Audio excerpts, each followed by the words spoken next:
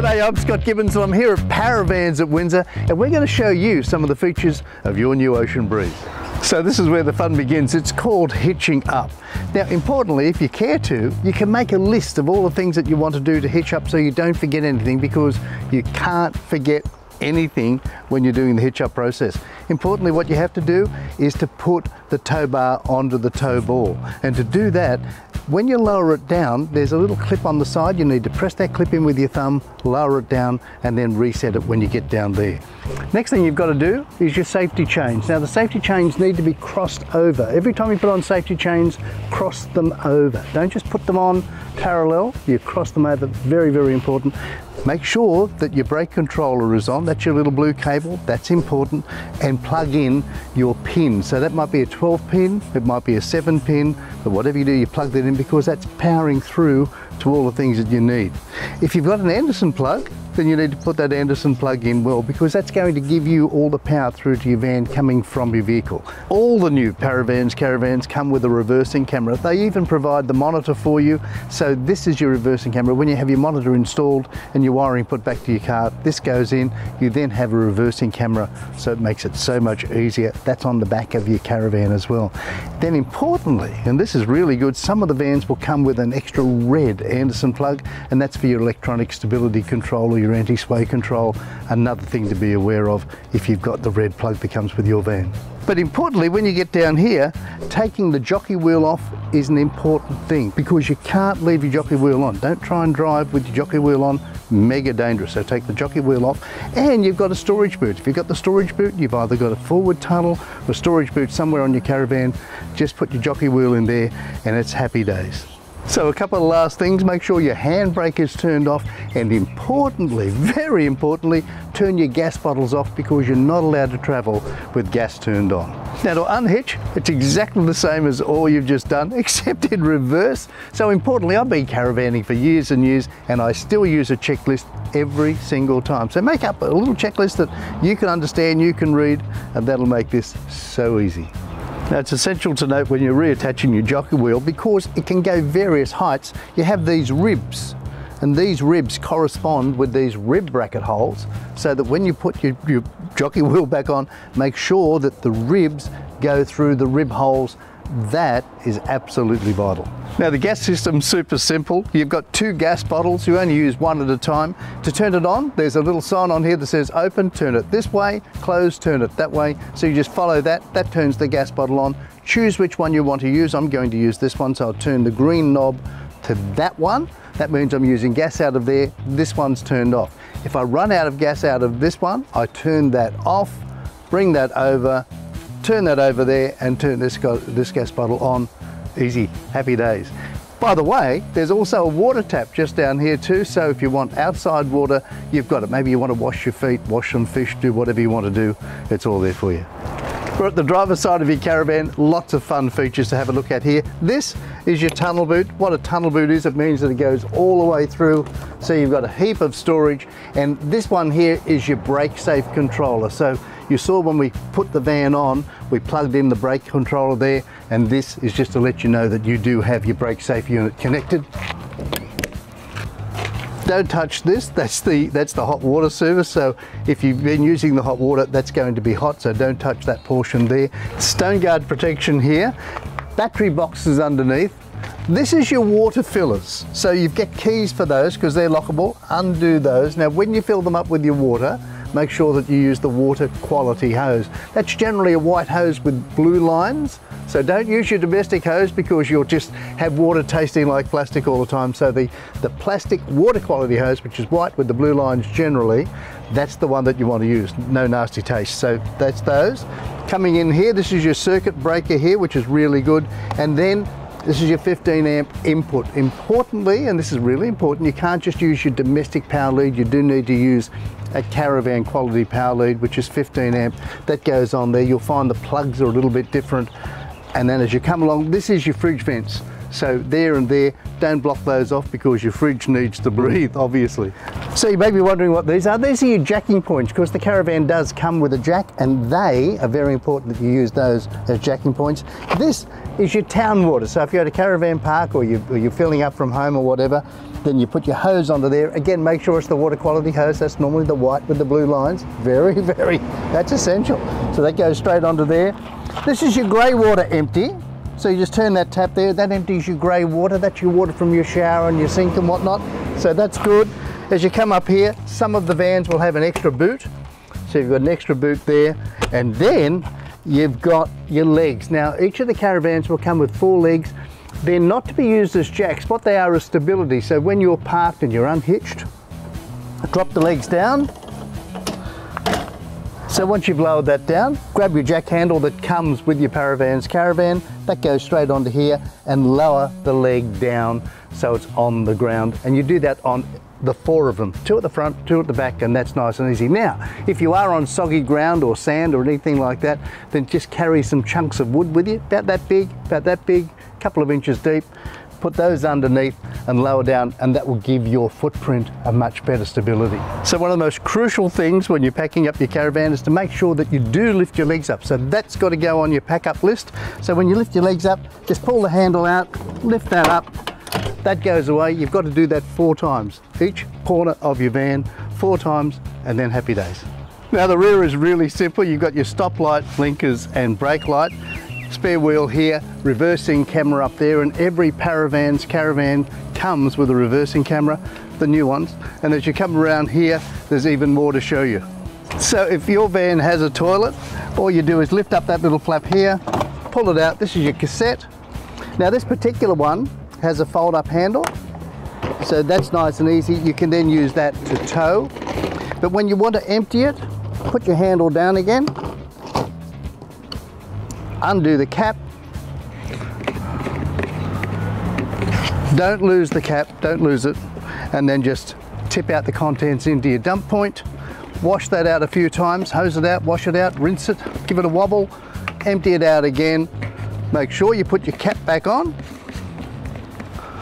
Turn that around, pull the handle out, wheel it back to your caravan and just install. And then you'll hear click. If you hear that click and that little blue handle's popped up, happy days. Now up here is your outlet for your 240 volt. So that's nice and easy. 240 volt outlet here. This is your outside TV unit. So you've got aerial here and 12 volts. So that's simple. Picnic tray here, which is really handy because that's good and strong and you can use that for so many things. If you've got a little grill or anything like that, one of those little plug-in grills, put the grill on there, a little George Foreman or whatever. So that's simple. Out here, you've got an extra light. So this is your light just to leave on when, when you go out of a night time so you know where your van is and you can see everything but you can turn that on or turn it off nice and simple now this is fabulous you've got a, a three lock door so you've got a lock here lock there lock there so it's very secure speaking of secure you can keep all the pests out and things simply by turning this little switch here turn that and that divides the door so you now have your insect screen door and that's your proper door. So if you're just inside and you want to have some fresh breeze coming through, you've got the air vents of course on top, but here you can just have that with the nice little breeze coming through. So we'll open that up again. That goes back into there, turn that, that's now locked. It's a single door again now. So you've got the triple lock door and that's just done. I think what we'll cover now is the awning for you because the awning, you're all going to love the awning. So let me show you how easy it is to set up the awning. So behind the awning strut, just press that, lift that up, that releases that arm. Then there's a little wheel down here, loosen that off. The same is on the rear strut, so we're going to do the same up there. But in the meantime, we're going to open up this front tunnel boot. Fabulous tunnel boot.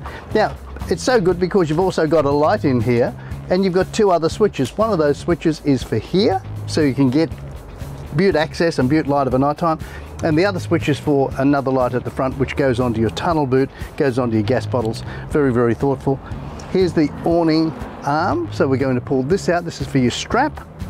So this is your awning pull rod. It doesn't matter which way you use it. It's the same thing. But up here is the lock. So if it's up, it's locked. So you lock up and then you pull it down and that unlocks it.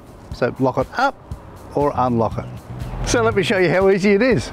All you do, put that in there and pull backwards. Now importantly, if I stop there, the awning isn't going to go flying back, but I can just continue on. I can stop there, I can stop anywhere. Each one of those clicks is a little break. So you just keep on coming until you're happy. That's about fine, and we'll leave it there. So to have the awning set up so that the awning is up and you've got your legs, very important that you make sure that this flap is visible, which means you pull the whole awning out so you can see that flap. And then we've already loosened it here. So this just comes out and it comes right up, goes into a black button, all simple. So moving on to this handle, all we do is open that handle up here. There's another little button there. Just grab the handle or the rod, pull that up, close that off wherever you want. If you're doing it solo, it's best to go about halfway, which is what I've done now. If you're doing it with a mate, then you pull you can pull it out all the way. But it's best just to go halfway, see if everything's fine, and then you can continue on. Simple as. Here's a handy hint from Parravans. All you do is pull the cord along the track, tie it up so that nobody trips over the cord. That's nice and simple. Now before you go out of a day, if you can, put the awning away. And before you drive away make sure you put the awning away. And to do that all you do is reverse those simple steps. Really easy.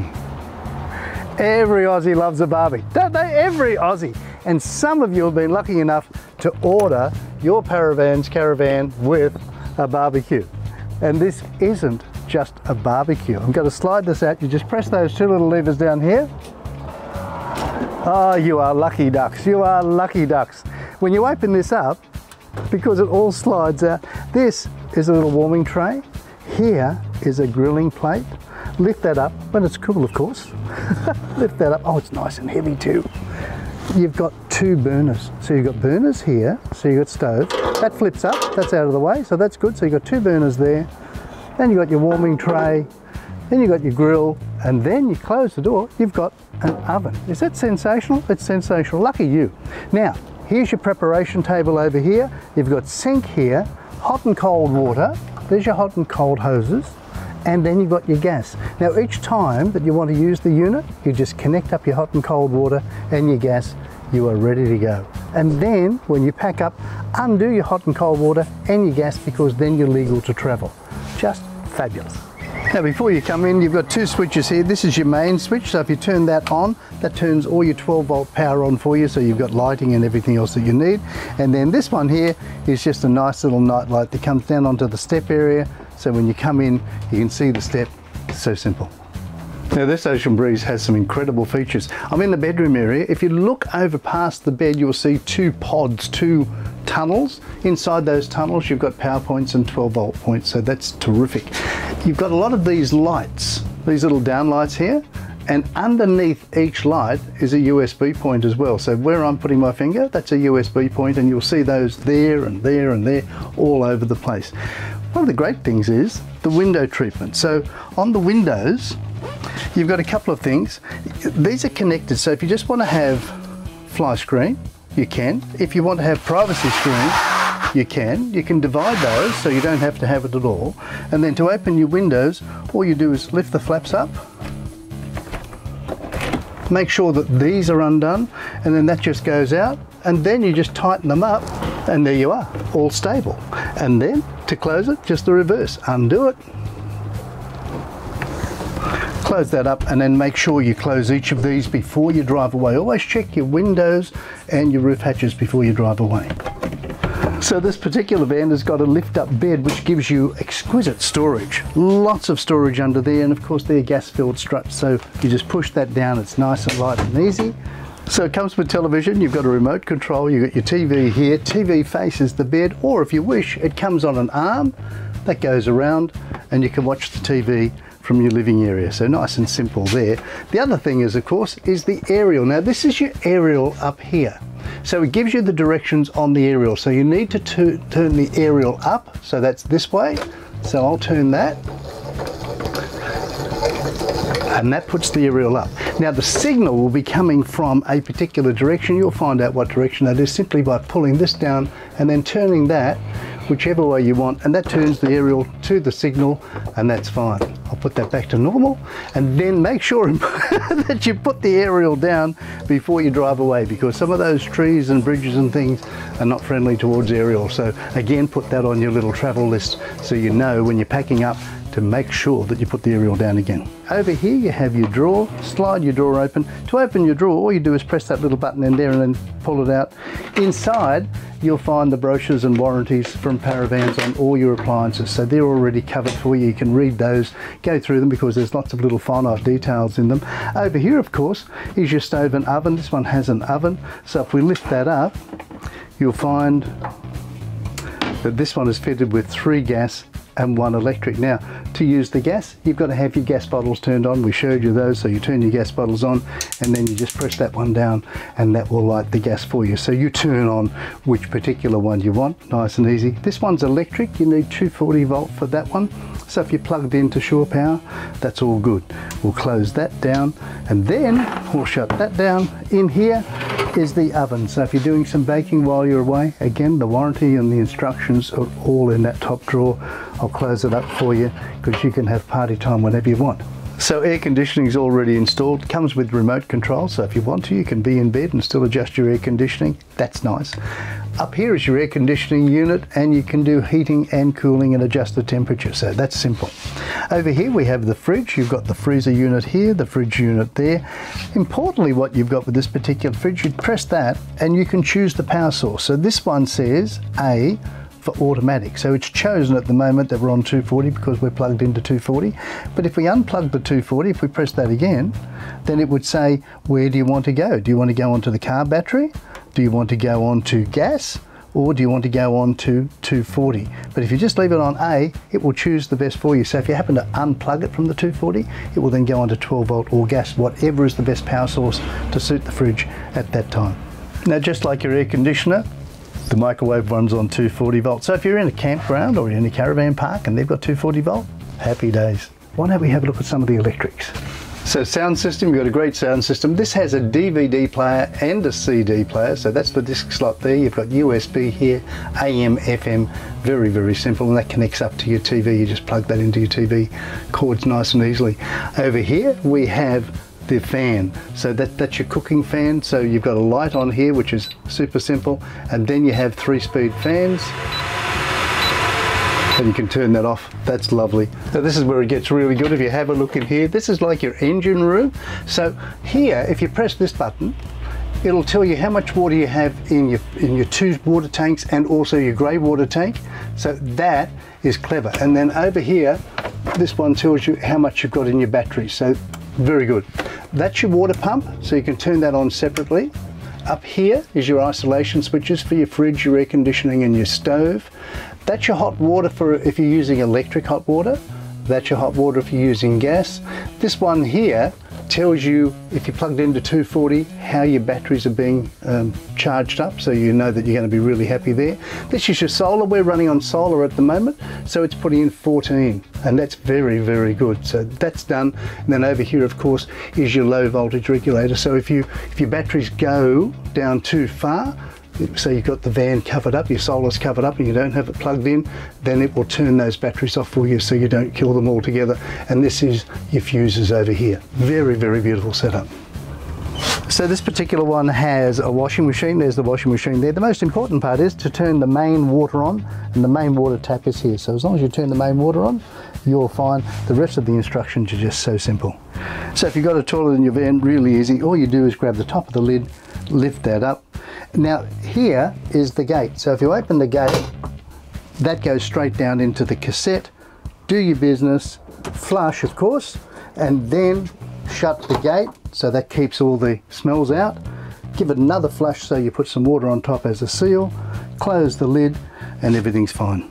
So before using your toilet for the first time, you put this in, it comes from Parravans, and you just pour that into the toilet, put it into the holding tank, add a little bit of water as well so that you've got it mixing around, and then that'll last that whole first cassette full. Uh, and that's just a nice little deodorant and it's concentrated it's called Aqua Kem Blue. And then of course you can get more at your local camping store or wherever you want to go to get your chemicals but make sure they are particularly for camping toilets. So in the toilet and in the shower are exhaust fans. So just open that up You've got an insect screen here and over here is your fan button. Just press that, fan goes on, does the exhaust here, does the exhaust for the steam in the shower as well, and that's really, really good. So I can turn that off. Once it's turned off, close that. If you're going out for the day or you're driving away again, make sure that you do shut these flaps and hatches. Very important. So if you're ordering or you've just getting a diesel heater, you are just in happy land because the Eberspacher diesel heater will just warm your van. It's just warm as toast. And the beauty thing is you can adjust the temperature. At the moment in this van, it's around about 26 degrees. If we want to, we can lower that down to 20. But you might find if you're down in the snow country, because you'll be wearing all the doonas and, and things like that when you're in bed, you might be happy just to have it sitting at around about 15 degrees because that's going to keep the floor nice and warm. So if you get out to go to the bathroom or anything like that, it's just terrific.